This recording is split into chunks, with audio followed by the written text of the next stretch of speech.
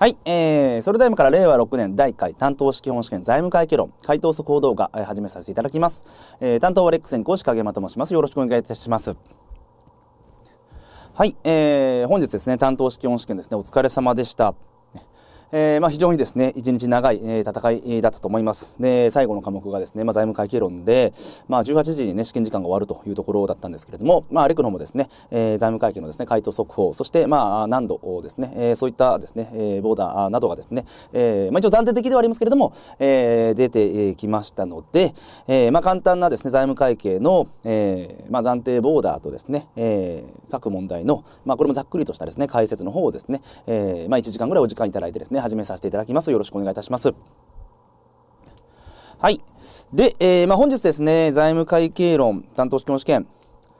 えー、どうでしょうかね、えー、まあ皆様ね、本当に疲れて、特にね、財務会計論って最終科目ですから、えー、企業管理監査とですね、戦ってきた中で、まあ最後ですね、力を振り絞ってというところにはなると思いますけれどもね、えかなりこうね、えまあ脳みそも疲弊している中でのですね、戦いで、まあ普段のパフォーマンスがね、なかなかこう発揮できなかったという方もですね、えまあ例年これは多いと思いますよ。はい。え特にね、前の3科目のですね、こう、出来不出来っていうものを引きずってしまう可能性も、あ、り、まあそう引きずってはいけないっていうことがね、分かっていてもね、なかなかこうね、えどうしても本番ですからから力が入ってしまうまうというところになりますので、まあ実際ね、えー、普段のパフォーマンスの8掛けぐらいのね、パフォーマンスが、まあベストなパフォーマンスになってくるのかなとは思います。はい。で、今日のね、問題はですね、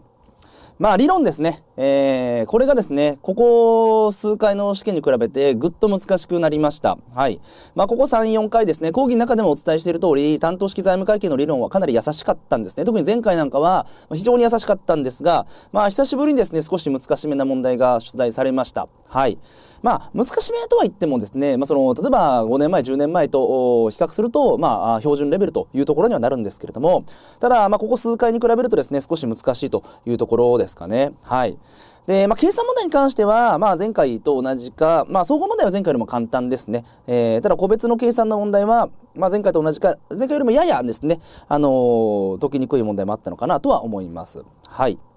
ということで、えー、まあ、今ね、えプレゼンターに移している、えー、回答と正当可能性、これはですね、ホームページにですね、PDF 上がってると思いますので、まあ、あの、ホームページのね、PDF の方から確認をしてもらえればと思います。まあ、一応ですね、黄色でマーク入れているところが理論問題で、えー、まあ、この問題23以降が総合問題となっておりますが、まあ、こちらはね、PDF の方で、えー、ウェブ上で確認してもらえればと思います。はい。そして、まあ、気になるね、ボーダーなんですが、はい。まあ、ちょっとこんな感じでですね、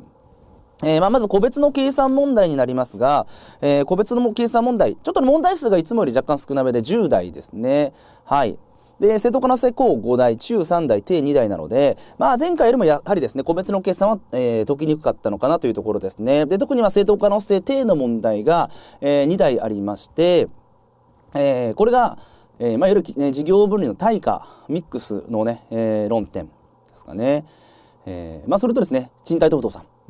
まあこれね、えー、数年前にもね、賃貸等々さんのですね、まあこの問題4と同じような問題が取材されていて、まあこの焼き直しに近いようなですね、問題なんですけれども、はい。まあ、それよりも優しいんですけど、ただまあ全体としてやはりですね、えー、受験生が限られた時間の中で政党を導くというのは難しい問題でした。はい。で、対価ミックスに関してもですね、講義ではですね、まあ、ほぼね、触れていない論点ですから、まあ、ここ、政党から定の問題が2台あるというところで、まあ、あの、8台のですね、えー、問題からいくつ正解を拾えたかっていう勝負になりますね。まあ、この程度2台は捨ててしまってっていうところですかね。はい。えー、ただまあそのね12月の試験っていうのはですね多少こうボーダーが上がるということがですね予想されますのでまあ正当可能性ね項の問題を全部取ってプラス1台乗っかればですねまあいいかなというところではあるんですけどもまあただねなかなか正当可能性項の問題も全部拾い切るっていうのは難しいとは思うんですが、まあ、その中でなんとかですね5台は死守してもらいたいかなとは思うんですよねはいまあ半分ですかねえー、10分の5。なので点数で言うと、まあ、個別の計算で40点ぐらいですね、確保できれば、あの、まあ、これは十分に合格ラインかなと思います。はい。えー、そして総合問題ですね。総合問題はですね、前回と比較して優しめですね。前回ね、ちょっと難しい問題だでしたけれども、まあ、今回は、まあ、非常にオーソドックスな問題になりますので、なんとかまあ、6分の5はですね、これはまあ、確実に取っていきたいかなと思います。まあ、したがってここで20点は取りたいかなというところですね。はい。20点は取りたいと。で、えー、理論ですね。まあ、理論がちょっと難しいですね。えー、前回、前々回、前々前回と比較すると、まあ少し難しくて、まあ本当にね、前回、前々回、前々前回とかはですね、あのー、もう理論で9割ぐらい取れるみたいなですね、イメージで、でかつ、まあ正当可能性がですね、例えば中の問題とかもあるんですけども、まあ基本的には正当可能性、こうに近い中の問題がほとんどだったんですね。で、各足で見ていっても、かなりこう、整合の判断がですね、えー、しやすい足が多かったんですが、まあ今日はね、まあ、この中の中でもね、正当化性低の、低に近いような中もありますし、まあ、項の中でも正当化性中に近い項もあったりだとか、えー、足ごとに見ていてもですね、その容易に判断できないようなものもあって、まあ、これ12分のね、えー、8取れればもう十分なんですけれども、まあ、12分8でもね、なかなかきついかもしれないというところでも一応7ですね。7はなんとか取っていきたいというところですね。なので、まあ、7取るためには正当化性項の問題を全部拾っていくか、もしくはまあ、1ミス、2ミスでもね、えー、その中から低の問題をですね、まあ、勘でも何でもいいので拾っていく必要があったのかなというところですね。はい。でこれはまあ56点というところになります。で、まあそのね、運の要素も少し入れていかなければですね、ちょっとボーダーがですね、突破できない可能性というものがありまして、これは前回のね、昨年の12月本試験がまさにそうだったんですね。純粋なボーダーの足し合わせで合格ラインには達しないっていうものになりましたので、まあ、もし仮に今回もですね、えー、純粋なボーダーの足し合わせ、各科目のボーダーの足し合わせで、まあ、合格ラインに届かないとすると、財務関係で取ってほしい点数っていうのは、まあ、132点ぐらいになるのじゃないのかなと思います。はい。まあ、今ね、ここに、あのー、示させていただいた点数をですね、純粋に合計すると、これ116点なんですよ。だからまあ116点取れればですね、合格ラインなのかなと思うんですけれども、まあ、そこにプラスアルファですね、えー、加わって、まあ、132点ぐらい、えー、取ると全体のボーダーに追いつく可能性はあるというところで、はい。まあ、財務会計単体で見ていけば、まあ、116点、まあ、もしくはね、124点取れれば十分に合格ラインかなと、まあ、個人的には思うんですよ。124点ね。はい、ただ、実際合格するためにもう1ポイントですね、まあ、1問分8点、えー、取っていく必要が、まあ、あるんじゃないのかなとは思うんですが、はい。から実際の合格ラインというのは116から124もう124取れれば合格ラインっていうふうに、まあ、私は思うんですね。ただ、まあ、ボーダーとの兼ね合いで、まあ、132ぐらい取っていく必要が、えー、ひょっとしたらねあるかもしれないと思っておいてください。はい。ただまあ、あのー、このね、ボーダーに関しては、まあ、当日のですね、えー、まあ、速報ボーダー、暫定ボーダーという形になりますので、まあ、この後ですね、まあ、各予備校のですね、あのー、まあ、リサーチなんかもですね、ちょっとご利用していただいて、まあ、もう少しね、角度の高いボーダーっていうものをですね、えー、まあ、ここ2、3日、もしくはですね、えー、その来週中というか今週中にですね、えー、こう、いろいろとですね、えー、概要が見えてくると思いますので、まあ、そのあたりでですね、えー、まあ、自分のですね、今後の、こう身の振り方っていうものを考えていくべきなのかなとは思いますんで、はい。まあ、純粋にボーダーとか考えずにいけば財務単体ではまあ116からまあ124、まあ、124ぐらいがですねあの取れればまあ十分かなという感じにはなります。はい。でまあ、今回のですね担当をですね受けて、まあ、受けてというかね解いて思ったのは、まあ、その難易度とかではなくてね非常にですねその過去の焼き直しがやはり多い。と感じます。これは計算に関しても理論に関してもあの非常にね焼き直しが多いので、はいえー、やはりですねもう一問一答の、で、過去問部分まあ本当にねこの理論は一問一答の過去問部分につきますよ。はいえー、そしてまあ計算に関してもですね結構焼き直し問題が多いので、まあ、初回受験生の方や2回目受験生の方はねあの、まあ、答練であったりだとか問題集を解いていくっていうスタイルでいいと思うんですが、まあ、例えばねその3回目4回目の受験ですよっていう方は計算に関しても過去問題集なんかを購入して、えー、まあ解くようなですねスタイルで学習方針をですね切り替えていく方がいいかもしれないですね。はいまああのただね結構その担当問題集とかね、ポイントアップ答練でも過去問のエッセンスってのでふんだんに取り入れていますので、なので、まあまあ、一元その過去問に飛びつけばいいっていうわけではないですが、はい、まあ結構過去問のね、えー、類題っていうものが出ているかなとは感じます。なので、まあその辺はですね、まあ次の5月向けの答練なんかでもね、えー、そういった傾向を反映させていただきたいなとは思っておりますし、まああとね、論文のですね問題で出題されたテーマなんかが結構出ていますので、はい。まあ、その辺りもね結構、まあ、要はトピカルなところがかぶってるというかね、えー、担当でも論文でもトピカルなところが出てるのかなと思います、まあ、特にですねもう感じられたと思いますけどもリースの問題なんかはね、えー、2台、ね、借り手と貸し手が両方出てましたよね。だからその辺りなんかもね、あのー、ちょっとですねトピカルなあ論点というものを反映させているのかなとは思います。はい。まあ、いずれにしてもね、焼き直しの問題が結構多いということなので、はい。まあ、皆さんもね、まあ、仮にね、えー、次の担当にっていうことであればですねやっぱり一問一答の過去問っていうところをね特に理論は中心に復習をしていく必要があるのかなとは思います。はいえー、ということでですね、えーまあ、本当に、えー、ざっくりとではありますけれども、えー、各問題の解説の方に入らさせていただきます。はい、ということでまず問題1からいきましょう。えー、理論はですね、まあ、バツ足を中心に解説していきますということで、はい、まず問題1ですね、いきなりこの複式簿記に関する問題で面食らった方もいると思うんですけれども、はい。まあこれはね、本当に基礎編でやってるような内容なんですよね。えー、なので、基礎編受けたばっかの方なんかはね、例えば絵の選択肢なんかはすぐ切れると思うんですよ。ねえー、合計資産表における借方合計と貸方合計が一致していればですね、えー、転記に誤りがないと言えるというところなんですが、×ですよね。えー、資産表には限界があるということでした。貸借平均の原理にですね、反する、えー、誤りは資産表を作成してもさえ発見することができないということなので、はい、誤りがないと言えないですよね。はい。まあ、この辺りなんかですね、本当に基礎編のね、えー、受講生さんなんか実は解けたりするんですけども、まあ担当にね、えー、受かる力を持ってる方でももう完全に忘れてるって方もいると思います。はい。えー、だからね、正当化性は一応注意にさせていただいていると。ただ、うはね、判断できますよね。えー、金融資産を取得する契約を締結しただけでは取引には該当しないため仕分けは行われないとありますけれども、まあ、例えば有価証券の取得の契約なんかではですね、約定基準で有価証券をバランスしていきますから、はい、だから仕分けは行われるということで、うも罰になります。ということで、正解は、えー、1番ですね。はい。ですかね。では、続いていきましょう。次は資本維持論ですね。はい、資本維持論。えー、これは、うとえが誤りですね。えー、まず名目資本位置はですね財務報告においては採用されてないとありますけども、まあ、今現行上我が国名目資本位置の考え方で処理していますから採用されていないというのが×ですからね。はい、で絵はですねこれ実質資本位置の考え方で、えー、実質資本維持で考えていくとですね、えー、要は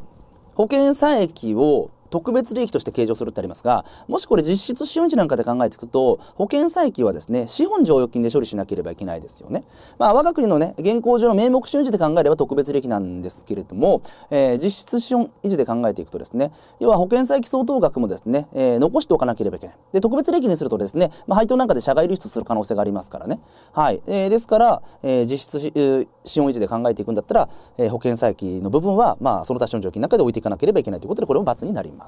はい。ではどんどんいきましょう。続いて問題の3。問題の3、国際会計基準で、えー、まあ、まずですね、えー、指定国際基準を適用することがですね、できるというですね、え、ところなんですが、そのための適用要件が求められていないとありますが、要件あるわけですね。え、内部統制なんかで、ね、きちっと整備されていなかったり、整備されていなければいけなかったりするというですね、要件がありますので、はい、これは×になります。はい。で、うですね、うちょっと読んでいきますね。有価証券報告書における連結財務諸表を指定国際会計基準によって作成している会社においても、会社法に基づく計算処理、連結計算処理については、えー、会社計算規則に準拠して日本基準で作成しなければならないと。で、これちょっと迷った方もいると思いますけれども、はい。まあ、基本ですね、会社法っていうのはイファースね、関係ないんで、あのー、まあ、原則としてはですね、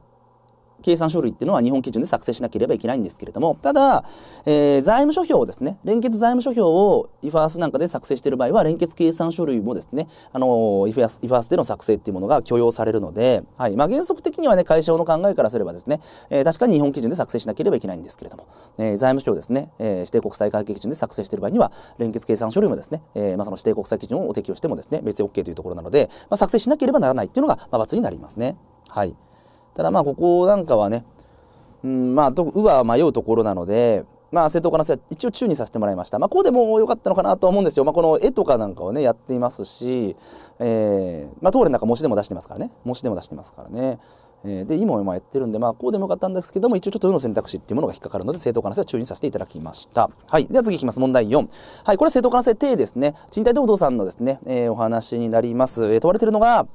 賃貸と不動産の母価の合計額と賃貸と不動産に関する損益の合計額でもう、ね、ある程度メモを入れているんですけれども、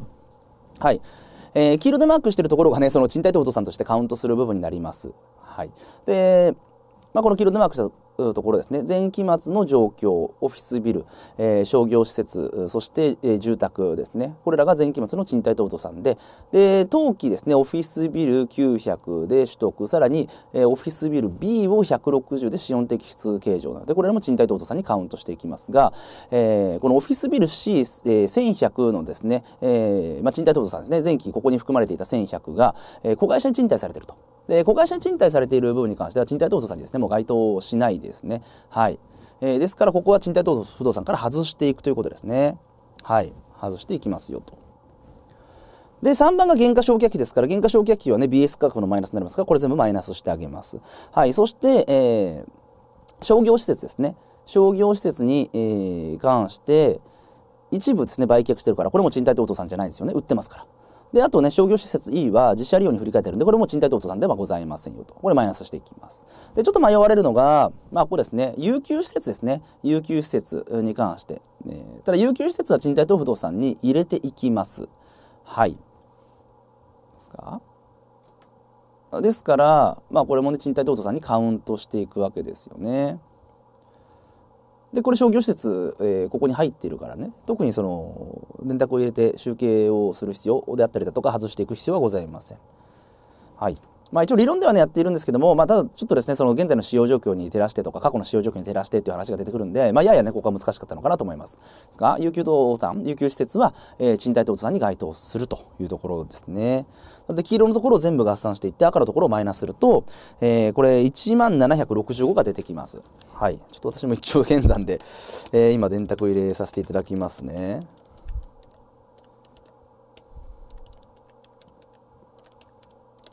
そうですね、1万765。はい。これ回答ですね。で、これが賃貸等々さんの母価になりますよと。で、えー、今度賃貸等々さんに関する損益ですね。はい。損益は、まあ、この黄色の部分がですね、オフィスビルの、えー、賃貸収入ですから、これ1800と。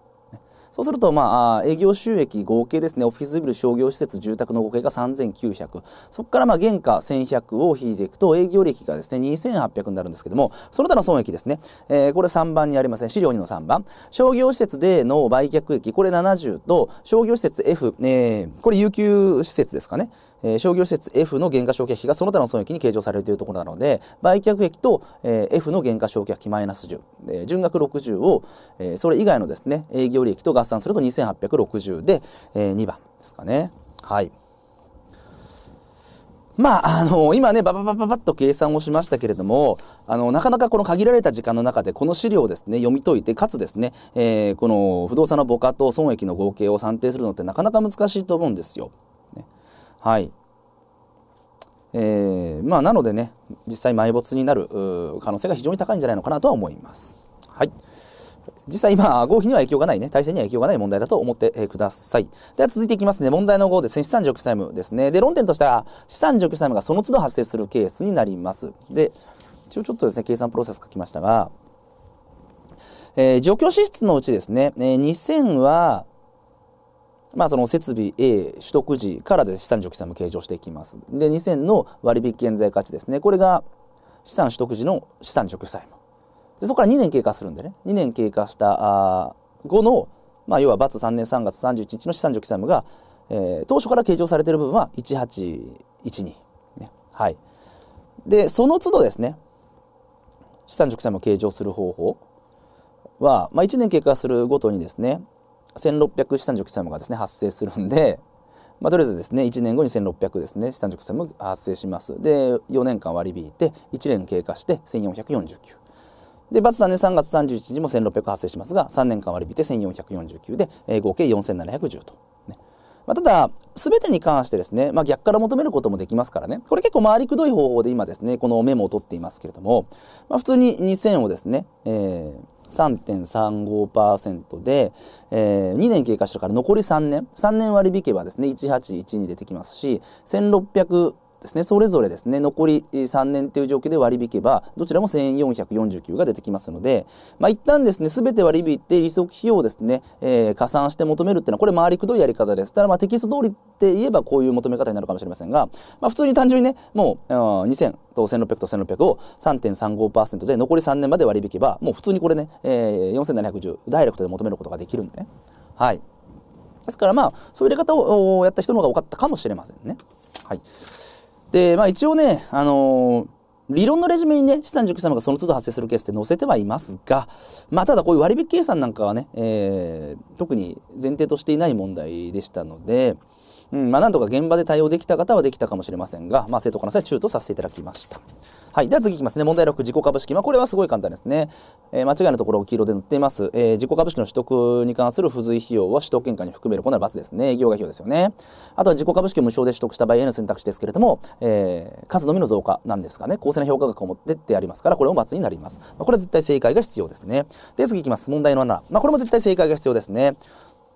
はい、もうこれ埋めたんで、これパッとね、停止して、まあメモっていただければと思います。うん、まあ難しくは全くないですが、まあ一つ注意するところとしては、その他資本常金が負の値になるから利益常金で15補填するっていうところではあるんですよ。ただこれその他資本常金のね、期末残高が聞かれているんで、めっちゃ親切ですね。負の値になるって分かりますよね。これもしね、期末残高が聞かれてなかったらめちゃくちゃ意地悪だなと思いますし、私も間違えちゃった可能性はあるんですけども、まあ期末残高が聞かれているんで、あ、えー、これ求めるときにこれマイナス15になるなってっていうふうに気づくんで、まあ負の値になるかどうかに気づかなければいけないんだけれども、えー、これね、出題者のですね、優しいところなのかもしれませんが、一応気づくように作られてはいるのかなと感じました。はい。ですからこれはね、正当化の性こうですよ。分量もそんな多くないですからね。はい。では続いていきます。問題8。問題8、棚卸さんですね。棚卸さんはちょっとめんどくさいですかね。はい。まあなんかね、この、金額がですね、桁が多いんですよ、これ。1000円単位じゃなくて円の単位なので桁が多くて、まあ、一見で複雑そうに見えますが、えー、ただこれ総平均を採用してるんでねこれがね移動平均とか先例先出したとまたねすごいいいな嫌だっていう感じがするんですが、まあ、総平均法なので、私も初めパッと見た時なんかちょっと嫌な雰囲気はしたんですよね。めんどくさそうだなと、まあ、今日めんどくさがりなんでね。でも総平均法って書いてあったんで、えー、まあ少しですねこう気を楽にして肩の力を抜いて解くことはできたのかなというところですね。はい。で総平均法で計算するとねえ、単価が46,375です。で、えー、当期販売してるの560個なので、まあ、560個かける4万6375かけてあげます。で、見本費は、えー、これ求めてるの売り減だからね、見本費販管費になりますから、これは×で、えーまあ、無視できると。そうすると、期末残るのが1010個。えー、ただ、帳簿棚卸高が1010個で、で実地が1007個なんで、3つのなくしてるんですね。3つ棚卸減簿。この3つの棚卸減簿、問題の指示から売り減に入れてきますので、3×4 万6375、これ売り減ですよと。で、期末の賞味売却価格が4万6100で、えー、これ求めたね、総平均単価とですね、275乖離してるんですが、まあ、あ価格が下落してるわけですからね。収益性が低下してるっていうふうに考えて1700ごめんなさい。1007個かける275が商品評価損ね。ですか？期末1007個残っていてそれが1個あたり275価値が下落してるんで 1007×275 で評価損を求めていくということで、えー、560×46375 足す 3×46375 かける、えー、まあかけじゃ足す1007個かける275ね。はい。まあ、評価損と棚減抜きの売り減に棚減と評価損を加えていくと。はい。で、まあ、評価差もね、臨時かつ多額じゃないって指示がありますから、ある程度ですね、これは、まあ、多少時間かかるかもしれませんが、丁寧に解いていけばですね、解けない問題ではないかなと思いますんで、はい。まあ、一応、正当関性中ですけれども、まあ、これはね、正当関性中の中でも正解してほしいかなと、個人的には思います。一応、3月21日にね、仕入れ割引ありますが、仕入れ割引は売り減とかには一切関係ないですよね。営業が収益でしたよね。はい。ということで、まあ、このあたりもですね、引っかからないようにしてもらえればよかったかなというところです。はい。では、続いていきます。次、問題9ですね。はい。問題9、金融商品で、まあ、ヘッジなんでね、一瞬難しそうなのかもしれませんけれども、えー、でも、ここの問題はそんな難しくないですね。えー、まずヘッジに関するですね、えー、要件、適用要件がヘッジ取引時に認められてなくても、ヘッジが適用されますよってあるんだけども、いや、ヘッジ取引時に認められてなかったらダメだよねと。ヘッジ取引開始時とヘッジ取引開始時以降、定期的にですね、その確認できなければいけないということで×ですね。はい。で、うはですね、これ、金利スタッフの特例処理。特例処理はですね、あくまでもできる規定なんですよ。だから要件満たしたからって特例処理をしなければいけないっていうわけではないっていう点で×ですね。はい。えー、まあ、これは正解が必要だと思ってください。そして問題10、これはオアシス問題ですよね。はい。オアシス問題で、まあ、私ね、たまたままあ、パラパラっとめくって、問題10がパッと出てきたんで、あの、今日ね、回答速報を作るにあたり、この問題10から解いたんですけども、はい。まあ、まさにオアシス問題。気分よくね、次の問題に移れたんですね。で、まあ、特に解説する内容ないかなと思います。えー、その他有価証券評価差金の金額と、ですね、えー、ごめんなさい、その他有価証券評価差金の金額と、その他有価証券の金額ということで、A 社株式、B 社株式、まあ、時価評価していますから、期末の時価がその他有価証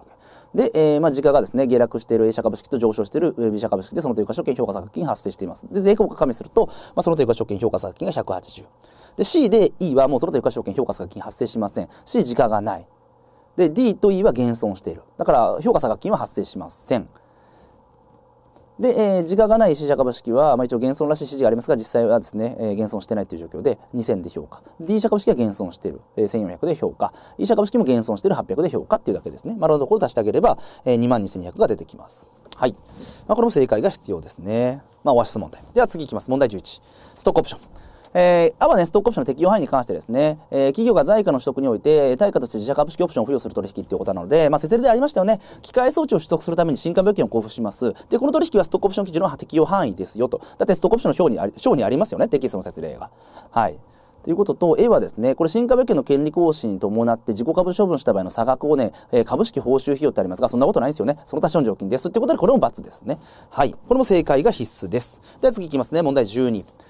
えー、問題12は、まあ、これはね、まあ、通常のストックオプションの問題ですね。一応、業績条件が付けられておりまして、付されておりまして、その業績条件の達成見込みが×だね、3月期ですね。はい。で、実際利益も、まあ、あ115%っていう条件を達成しているんで、まあ、罰3年3月期に権利が確定するというふうに考えていくんですけれどもただですね、えー、対象勤務期間はですねこの権利行使開始日のですね前日までをベースに考えていくので、えー、罰3年6月3日をベースに対象勤務期間を考えていきます。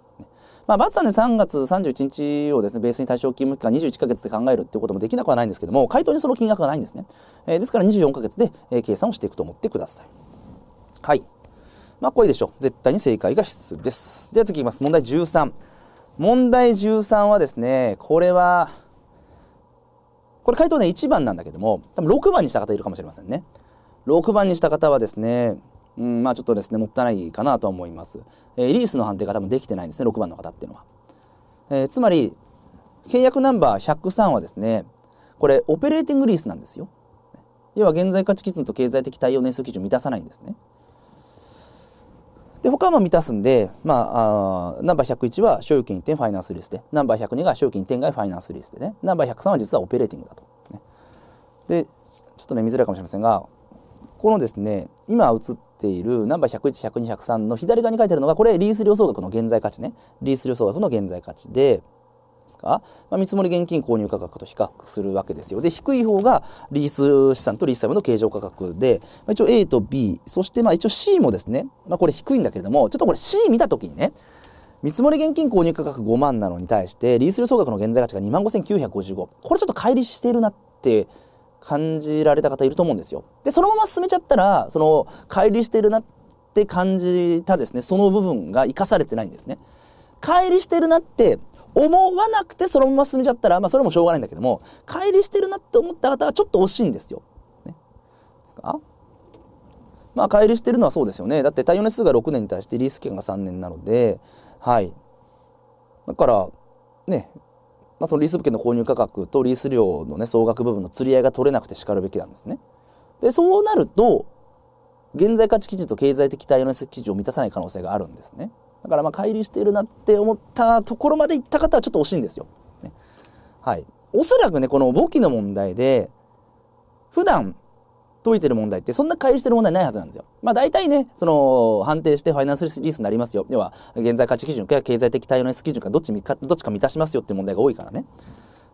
だからちょっとね、ここで不審に思って、あれって思って気づいた方は、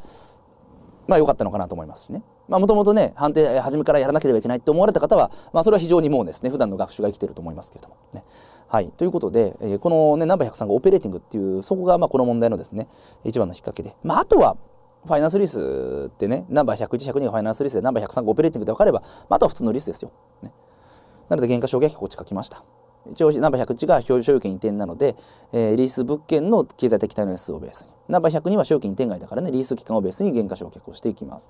はい。で、あとはもう、えー、この17,103、17,303と34,462に2%かけて1年間の利息を求めて、そこから元本相当額ですね、えー、これを求めます。まあ、リース料からね、利息引いて、えー、元本相当額を求めて、そいつを引くということですね。はい。ちょっと普段のね、講義で扱ってる下書きと違いますけれども、はい。まあ、一応こういう流れで解いてもらえると回答は出てくるかなと思います。はい。えー、なので、まあ、ここはね、まあ、ちょっとね、正当化性は、まあ、こうなんだけれども、まあ、ちょっと中に近いこうかなと思います。はい、引っかかっちゃった方も多いのかなとは思います。では次いきます。問題14。はい、次は貸し手の処理ですね。まあ、借り手が出てきて貸し手というところなんですが、ちょっとね、この貸し手は、少し、まあ、ひねりがある問題で、ですか、えー、当社は工作機械を製造販売することを主たる事業としてるが同時に貸し手として当社製の機械をリース物件としてリース取引を行っているということで自分で製品を製造してそいつをリースしてるんですね。でまあ普段のね、まあ、よくある問題だと購入してきてリースするっていう問題がよくあると思うんですけども、まあ、今回はこの作ってリースすると。でまあ別に購入だろうが作るリースだろうがね作って製造してリースをするんであろうが別に処理は変わらないんですけども今日ねこの問題の論点としてはあのここなんですよ問題のですね資料の13貸し手の制作価格と借り手に対する現金販売価格に差がある場合の会計処理法は原則的な方法によるものとするということで、で、これがね、ちょっとですね、あの、講義では使ってないところだったので申し訳ないんですけれども、まあ今回ですね、えー、制作価格が8万4248で、現金販売価格が、えー、89,036なんですね。はい。で、まあ、仕分け上こんな感じですよ。ね、製品で製造して、8万4248のね、製品をリース投資産に振り替えて差額益にするっていう、まあ、この処理自体はやってないんですよ。えー、ただ、まあ、このリース投資資産とする金額を8万9036って判断できれば、あとは普通のリースの貸し手なんですね。はい。だからおそらく、これとこれどっちをリース投資資産にしたらいいのかなって迷われた方がいると思うんですね。はい。ですからまあその辺りがちょっと難しかったかなと思うんですね。ですか？まあこのねリースの状況っていうのがまさにこれ理論でやったんですけどねやるんですけど要はいわゆる第一報でねリース取引開始日に売上と利減を計上する方法ね、えー、これは製造業を営んでる会社がね、えー、製品を製造し、えー、その製品を販売する手法としてリースを採用してるってあの理由なんですよね。はい、まあ、あのどっちかというと論文でね強調しているところなんですけどもまさにまこの説例の状況ではあるんですよ。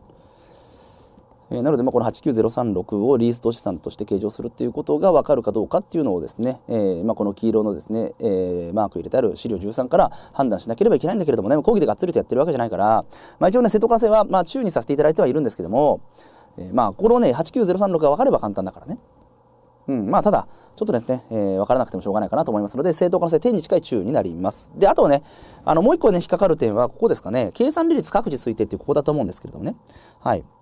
これまあ、このリースル総額の現在価値、つまり2万ですね。2万の現在価値が8万9036となる利率を探ればいいわけなので、8万9036割る2万で、そうするとですね、4.4518出てくるんですね。とすると、結局2万 ×4.4518 のですね、年金原価係数を使うとですね、4%で出てきます。ので、はい、これ以前にも担当ではあったんですが、年金原価係数なんかからですね、いろんな、あのまあ、指標なんかを推定するっていうのはですね、まあ、一応ね、ここ最近たまに出てくる、えー、出題のね、パターンにはなりますので、はいまあ、これってね、そもそもリース量総額の現在価値が何を示しているのかっていうリースのですね、計算構造をちゃんと理解できているかどうかっていうところが問われますよね。はい。ですかね。ですから、まあ、この辺りが分からなかった方は、まあ、もともとそのリース量総額の現在価値っていう話が何なのか。えー、さらに言うと、まあ、焼却原価法とかにもつながってくるような発想になりますのでね、まあ、ちょっとね、その数学算数学に嫌いな方はですね、ここも難しかったかもしれないですけれどもね。はい。ただ、まあ、ここはなんとかね、ちょっと乗り越えて、どちらかというと、迷ってほしいのは、まあ、ここですね。まあ、これだったらしょうがないかなと思うんです。これ迷ってね。っていうのはしょうがないと思うんですけども、まあ、このね、えー、4%の率を使うっていうところに関してはね、なんとかこうね、正解をとか、まあ4%っていうところに関しては、この指標をですね、まあ、一応当てると言ったら変ですけどね、えー、正解できるようにね、えー、解いてもらいたかったかなとは思います。はい。まあちょっと難しい問題ですよね。なので、まあ正当化性中には上がっていますけども、まあ点に近いような中だと思ってもらっていいかなというところです。はい。では次いきますね。対象給付問題15で、えー、対象給付債務のですね、計算ですね。えー、これ原則がですね、全従業員の過重平均値のような合理的な計算方法に算定された数値を用いててありますが、はい、原則は個々の従業員ごとですから、はい、それをね、えー、原則にしていない、つまり過重平均値みたいなものを原則としている点で、これは×になります。はい。で、いいですね。ちょっと難しいんですよね。えー、年金資産の時価はですね、時価基準で算定しなければいけないってありますけども、これですね、えー、年金資産の時価のうち時価基準が適用される部分っていうのは、年金資産のうち金融商品の性格がある部分だけなんですよ。つまり、時価基準ってもともと金融商品にしか適用されないわけですよね。まあ、例外的にね、トレーディング目的で保有する棚卸資産とかありますけども、まあ、金融商品に適用されるものが時価基準になりますので、えー、まあ、年金資産ってね、金融商品だけじゃないので、えー、年金資産の中で金融商品的性格があるものに関しては、時価基準によって算定するっていうことなので、はい。まあ、すべての、ね、これですね。すべての年金資産はってここが×になります。はい。では続いていきます。問題16。問題16はですね、あーですね。えー、これ契約の内容なんですけれどもね対価を回収する可能性が高いとは言えないような状況であっても、まあ、まあ契約なんかをね識別できるみたいなですね選択肢なんですけどもこれはねあのテキストに説例なんかもありますよね対価の回収可能性が高くなかったら、えー、ダメだっていう話がありましたよねはいですからまあこれは×になりますであとはですね変動対価の見積もり、ね、期待値による方法をです、ね、用いることはできないとありますが最頻値と期待値の選択ができるわけですからね。はいまあ、選択というかね、えー、正確にはより適切に予測できる方法っていうところでしたよね。はい。ですから、まあ、最頻値法も期待値も採用できるんだけれども、まあ、この選択肢だと期待値法による、えー、計算はできませんよってありますから、×になります。はい。では次いきますね。問題17。はい。これ理論の中では、まあ、一番難しいかなというところですね。はい。まあ、丸足も含めてちょっと難しいですよね。えー、まあ、唯一いけるのはこの「あ」なのかなとは思いますが「あ」は、まあ、要は投資の一時債をね、えー、認識しそれに関して繰延税金算計上していけないってあるわけですけどもそんなことないですよね。投資の一時債だってその、まあ、解消が見込まれる例えばねその売却の予定があるとかね売却の意思決定が行われるっていうことであれば、まあ、投資の一時債認識しますよね。だからは罰になります。はい。で、今ですね、えー、これ子会社のね、えー、欠損みたいな部分をイメージしてもらえればいいんだけれども子会社の経営状態が著しく悪化したため親会社の個別上子会社株式評価損を計上した場合まあそれはね、えー、評価損は総裁消去されると、まあ、これやってますよね僕でもやってますよね。はい、でその時この評価損の消去にかかる連結固有の将来減産一時債が発生するとありますがこれ将来加算なんですよね。はい、ですからここが×になりますっていうことです。あとはね、うとえは丸なんですが、まあちょっとここは難しいかなと思いますね、全体として。これはまあ正当可能性は低で、まああの合否には影響がない選択肢というふうに考えてもらっていいでしょう。はい。ただ逆にこの問題18は、正当必須の問題ですかね。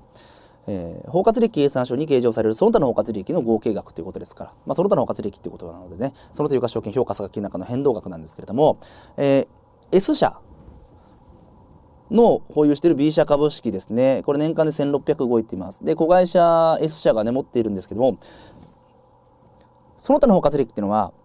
親の部分とね、非株の部分、つまりグループに帰属する部分と非株に帰属する部分ですね、両方とも合わせてその他の包括利益ですから、はい。まあ、要はタイムテーブルね、矢印引っ張って矢印の上と下、両方とも引っ張ってくるわけですね。集計するわけですよ。矢印の上だけ引っ張っちゃうんですよ。ね、これは BS 価格だったら矢印上を引っ張ってくるんですけども、今回包括利益ですからね、包括利益の場合は矢印の上も下も両方とも引っ張ってくるってことで、えー、B 社株式のね、時間の変動額が1600であれば、えー、その全額を引っ張ってきます。それに対して、えー、関連会社 A 社に関しては矢印上だけ引っ張ってくるイメージになりますので、えー、A 社が持っている C 社株式は1200時価が変動してますけども、1200の20%。えー、20%っていうのは、えー、P 社の A 社に対する持ち分ですね。えー、240ですね。えー、これがその他の包括益になり、あとは税効果が加味すると、えー、2番かな ?1288 になりますよと。はい。これは絶対正解が必要な問題でしょう。では続いていきます。次が企業結合ですね。企業結合はいいですね。えー、のれんを発生時一括償却し、特措に括計上する処理は認められていません。こんなのボケてやってないですよね。で、次、うですね。うは、顧客リストがですね、分離して上とかの無形資産に該当しないがってありますが、これ該当しますよね。えー、分離して上とかの無形資産の典型例ですね。顧客リスト、データベースね。そういったものですよね。はい。ですから、あここは×になりますよと。顧客リストはですね、分離して上とかの無形資産に該当しますからね。はい。では続いていきます。今日はやっぱ理論がちょっと多いですね。問題20。問題20はもうめちゃくちゃ簡単。ね。これ絶対正解が必要なあ問題ですかね。えー、問題20は、まず減損会計ですね。えー、決算日における資産価値を BS に表示することを目的とする。こんなの大罰ですよね。はい。費用配分ですからね。えー配分手続きですから、PL ね、重視の収益アプローチの発想ですからね、えー、BS 価値評価ではないですから。ということで×ですね。で、うは、えー、使用価値かな、えー、使用価値のですね、意義。使用後の処分によって生ずるキャッシュが使用価値に含まれないってありますけど、含まれないってありますが、使用後の処分によって発生するキャッシュは使用価値に含まれます。はい、以上ですね。はい、これは絶対正解が必要です。そして、えー、理論でもう一個難しいのですね。問題21。うんまあ、これもね、えー、正当化性定にしてもよかったぐらいに難しいですかねこの理論は。ですか？まず「い」ですねこれはね、まあ、知識として知らなければもうしょうがないというところなんですよね。えー、子会社の一部売却、まあ、子会社株式の一部売却が行われてこの子会社からですね、えー、持ち分法に移行するという場合ののれの取り崩し額に関してなんですよね。ですか？でこれのれの未償却額は支配獲得地における持ち分比率に占める関連会社として残存する持ち分比率に相当する額として算定しなければいけないということで、まあ、連結から持ち分法に移行するとですね、売却持ち分に応じて、まあ、のれん取り崩すと思うんですよ。で、簿記のテキストだと、まあ、まさにですね、支配獲得時における持ち分比率と売却持ち分というものをですね、えー、比率を取って、えー、未償却残高をですね、あのまあ、求めたと思うんですよね。ただ、これってね、あの、それ以外の方でも別にいいんですよ。適切な方法によって処理をしましょうっていうのがですね、まあ、一応基準上の話なので、はい。だからこの支配獲得地における持ち分比率に占める関連会社として残存する持ち分比率に相当する額としてのれの未償却額を算定しなければならないっていうのが罰なんですね。算定されなければならないと。でもこれ知らなかったらしょうがないですよね。適当な方法で。いや、それに限定されないということですね。ですか？もう聞きますよ。例えばもともと80%持っていて50%売却して30%の持ち分法適用関連会社になりましたって言ったら、まあ、のれも8分の3残しますよね。まあ、8分の5を取り崩して8分の3残すっていうのが、まあ、これがテキストの処理なんですよ。で、私も講義ではそれを教えていますが、はい。でもその方じゃなくてもいいってことなんですね。適切な方によって、のれんの未償却額を計算しましょうということなので。まあ、これはね、ちょっときついかもしれませんね。はい。だからまあ、問題21は正当化性低でもいいのかもしれないですね。はい。まあ、ただ他のね、選択肢がそんなに難しくないんでね。はい。ですから、まあ、いいがちょっと難しいかなっていうところですね。あと、うはですね、えー、のれん、えー、失礼しました。持ち分法適用関連会社の追加取得ですね。で、関連会社追加取得しますよと。で、追加取得するとのれん2本出てきますよね。えー、で、支配獲得してないですよ。もともと20%で関連会社、ね、えー、初めてね、えー、持ち分法適用する関連会社あ20%取得しました。その1年後に5%追加取得しましたって言ったら、20%取得した時ののれんと5%取得した時ののれんが出てきますよね。で、その焼却期間、まあ5年で焼却をするっていう話であれば、で一番初めにね20%取得した時ののれんは 5, 5年で焼却していきます。で当然その1年後に5%追加取得した時ののれんも5%、え、5年で焼却していきます。でその焼却感をですねガッチャンコしちゃダメなんですがガッチャンコしていいですよっていうのがこの「う」なんですね。はい。のれんの焼却期間をですね、えー、修正することができるとありますけどそんなことはできませんと、ね。から20%部分ののれんが5年だったら、えー、もう5年でずっと焼却をするし、えー、追加取得した5%部分ののれんも 5, 年5年だったらね5年で焼却をしてその追加取得する5年分、えー、5%の、えー、のれんをですね要はもともとの20%で焼却していくのれんがね1年経過したら残り4年になるからその残り4年に合わせて一緒に4年で焼却していきましょう。これできませんってことです、ね、5年5年でちゃんと焼却していきましょうってことですね。はい。でまあこの処理はねやってないから何とかそれで判断をできたらっていうところにはなります。はい。では次ですね事業分離なんですがこれはね申し訳ない対価ミックスバージョンが出てしまったというところでねまあ講義の中ではね対価ミックスバージョンはまあ可燃度制で余裕がある方は見ておいてねってお伝えしただけなんですね。なので、まあ、本当にね、ちょっと申し訳ないんですよね。講義で触れていけばよかったんですけれども、まあ、ただ触れていったとしてもね、これ、その他の投資投資先になるパターンなので、例えばその子会社化するとか関連会社化するっていうパターンではないので、まあ、正直この対価ミックスバージョンを触れていったとしても、講義中にそこまではどっちにしても扱いきれなかったのかなとは思うんですよね。はい。ただ何らかの形でね、ちょっと講義の中ではコメントを入れていけばよかったかなっていうのは非常にここはね、後悔していて、まあ理論ではちょいちょい出ていますので、まあ理論だったら出る可能性はあるとは思っていたんですけども、まさか計算でね、まあ、こういう形で出るとは思えなかったんですが、ということで、本当申し訳ないんですけどもね、講義では使っていないので、これは正当可能性を提とさせていただきました。はい。で一応ですね、まず前提として問われているのは、個別上の話ですね。連結の話ではありません。個別上の話ですよと。で、この A 社のアルファ事業の分離において、えー、B 社に対してね事業分離したわけですけども、まあ、B 社の株式を受け取っていますけれども B 社の株式を受け取ったことによって B 社を子会社化したり関連会社化したりはしていません。はい、えー、持ち分比率が15.2%ぐらいだったかな。でその他のね投資先になっているということなのでまずアルファ事業を分離する A 社から見たらですねこれは単なる投資の生産ですね投資の生産。ですから移転損益を認識していきます。え、アルファ事業をですね、えー、消していって、で、B 社から株式と現金を受け取ります。株式と現金の時価を計上し、差額損益ね。投資生産だから、これ。投資生産だから。これ投資生産だからね。はいまあ、その他の投資先だからねもうアルファ事業は要は100%から15%って考えていけばいいんですよ。まあ、その考え方は通常の事業ぶりと同じなんですけれどもただ対価ミックスやってないからねその判断ってのは難しいと思います。で B の方は、まあ、アルファ事業やってきてねで別に、えー、A 社に支配されたりね関連会社化されたりしないわけですよ。まあ、関連会社化の場合は別にいいんだけどもね支配されたりしないわけですよね。ですから普通にアルファ事業を取得しているってことではい時価評価してってことですよね。これ B 社ですよ。B 社から見れば取得ですね。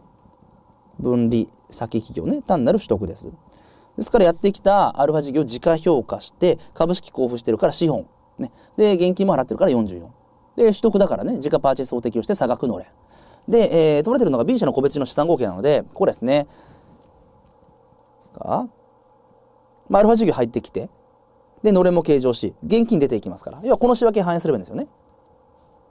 ですか？1500足す2000に現金払って44マイナス資本ごめんなさい資産か？アルファ事業入ってきます。プラス250のれん償却前ですね当然、えー、10入ってくるということで、まあ、これら合算すると回答が出てきます、ね、はい、まあ、ただちょっとですね申し訳ないんだけれどもね講義の中で扱いきれなかったところなのでうん、非常にここはちょっと私もね悔いが残ると、まあ、見た瞬間にですね非常に後悔の念というかね。うん、だからじゃあ次からね対価ミックスもやるべきかっていうのはまたそれも悩ましいところにはなるんですよね。ちょっとねあのこの後のこう受験生さんのですねえー、問題22のですね出来不出来をですね見ながら、まあ、次のね講義、まあ、この対価ミックスを入れていくかどうかっていうところに関してはちょっと検討させていただきたいなと思います。はい。まあ、本当に埋没だったらね、まあ、正直やらなくてもいいところなんですけどもね、まあ、まあ、要は他の予備校さんでね、えー、やっていて、えー、多くの受験生さんができてしまったっていうところであればですね、あの、ちょっと考えなくてはいけないかなと思います。はい。大変ここはね、申し訳なかったです。すいません。で、えー、最後ね、総合問題に入りますが、総合問題簡単ですよね。まあ、一応タイムテーブルと成果連結の仕分けを書きました。はい。まあ、このところかな。一応もうアップしていきますか。まず S 社ですね。えー、S 社アップストリームですね。段階取得と追加取得で、段階取得は普通に段階取得にかかる差益4750出てきます。で、アップストリームですね。えー、タイムテーブルにね、この影響を反映させてしまえば、まあ、全然難しくないですよね。えー、一応反映させるべき金額が、えー、売り減ですね、期末商品の売り減と、あと土地売却益で、で、未達あるからね、そこちょっと注意ですね。未達あるから注意ですけども、まあ、とは言ってもね、正当可能性はこうにあることに変わりがないかなと思います。はい。まあ、一応最終の利益条件だけは、あ、親会社株主帰属すると基準利益だけは注意させてもらいましたが、まあ、あとは基本的に正当可能性こうですね。はい。まあ、ポイントアップトーレンのね、連結度が、あの、全然10倍ぐらい難しいですよね。はい。ですから、まあ、コーチトレーニングをやっていてよかったのかなっていうところにはなります。ですかね。まあ、やっぱここですね。このマイナス7000とマイナス1万を反映させてあげれば OK ということで、まあ、一応回答プロセス全部求めていきましょうか。はい。えー、まず問題23が利益除金の登記集ですかね。利益除金の登記集で、親会社 P 社の当期純利益、ここからですね、前期の利益剰余金っていうものを、えー、逆算していくと。当期純利益と剰余金の配当がありますからね。えー、期末の利益剰余金が8万9000で、で、当期純利益5万9000。でも上益の配当が、えー、これ3万3000ありますからね。はい、3万3000。これを加味すると、親会社の前期末の利益除金が出てきます。まあ、これ当期種ですね。で、これ計算すると、えー、っとですね、8万9000引く、5万9000足す3万3000。とすると、前期末6万3000ですかね。前期末6万3000。はい。で、6万3000が前期末の、まあ、これ当期種の利益除金で、で、利益除金当期種ですから、まあ、あところですね、4750足すだけですよね。段階取得にかかる債金4750足すだけで、えー、6万7750で3番。もうこれだけですからね。はい。で、のれんは4万2600から4260を引いてあげると。0.9かけてあげて3万8340。で、4番ですね。で、次が、非親愛株主持ち分は、これですね、アップストリームの影響を反映した S 社の資本合計。ここに30%かけてあげると。これで18万 9000×30% で5万6700で4番ですよね。はい。で、続いて、えー、売上総利益。売上総利益は、こうですね、えー、と、これか。P と S の売上総利益合算していくと、えー、18万9000プラス8万で26万 9000?26 万9000でしょで、あとはまあ仕分けですよね。仕分けから、まあ、売上と仕入れの総裁賞金は売上総益に影響を与えませんから、この売減7000を引くだけです。はい。マイナス7000で26万2000。えー、これが1番ですね。1番でしょ？で、続いて、問題27が営業外損益ですから、持ち分法による投資損益ですよね。で、営業外収益から営業外費用を控除した純額とありますので、ここですかね。この金額よし。でこれ加減算すると1万4500足す9500引く4600引く5900で、えー、まずベースは1万3500ね。ここをね、加減算すると1万3500で、まあ、そこに持ち分法による投資損益と、まあ、配当金の影響を考慮すればいいので、まあ、このタイムテーブルで矢印上とのれん償却、それをダイレクトで加算してあげれば OK。1万4750。5番。ね。はい。で、最後が親会社株主に帰属する当期純利益で、ベースは、えー、親会社の当期純利益5万9000ですよね。5万9000に当期純利益だからね、えー、まああのアップスルームの影響はここに加味されてるんで当期純利益で。で一応問題の指示から期中は売却ごめんなさい。期中は取得前の60%で安分してねって書いてありますからね。期中はね。期末はあの追加取得後の30%が非支配株主持ち分なんだけども。期中はあの取得前の60%で、えー、まあ親分と非株分分けてねっていうことですから。はい。それを別に考えていくとプラス9000マイナス4260のですね、えー、プラス1500のマイナス250、ね、親会社の個別上の当期純利益、えー、5万9000にこの青でマーク入れているところを加減算してあげれば親会社株主に帰属する当期純利益6万4990、えー、回答5番が求められますということですね。はい。ということで、まあ、総合問題はね、あのー、優しい問題ですね。まあ、未達がありますけれども、まあでもね、その未達と言ってもね、一つだけですからね、えー、期末の商品送付未達だけですから、はい。なので、まあ、ここに関しては、なんとか20点は取りたいかなという、そんなあ問題ですかね。はい。ということで、まあ、ざっくりとではありますけれどもね、あの、速報解説をさせていただきました。はい。で、えー、まあね、冒頭お伝えしたボーダーもそうですけれども、まだこれ当日のね、夜ですから、えー、まあこれからね、当然いろいろね、受講生さんとお話をさせていただき、ま相談なんかをね、受けるので、まあその中でね、またボーダーとかが変化したりだとかね、そしてまたこの問題に関する詳細解説もですね、えー、また担当のね、詳細解説講座、えー、問題集のですね、えー、販売なんかもありますので、まあそちらの方でね、もう気になる部分に関しては、え、じっくりとね、え、まあ学習していただければと思います。またね、えー、まあ、ボーダーが変わればですね、えー、1週間後ですね、えー、土曜日に担当の分析会があります。その中で、まあ、実際で当日と比較して1週間経過してどれくらいボーダーが変動しそうだとか、まあ、そういうね、えー、1週間経って、まあ、いろいろとですね、情報がですね、入手できたことを加味したボーダーとかをですね、また分析会の方でですね、また告知アナウンスはさせていただきますので、はい。なので、まあ、ちょっとね、現状のボーダーは本当に当日のね、え速報暫定ボーダーなので、まあ、正直ですね、変動する可能性は大いにあると思ってください。はい。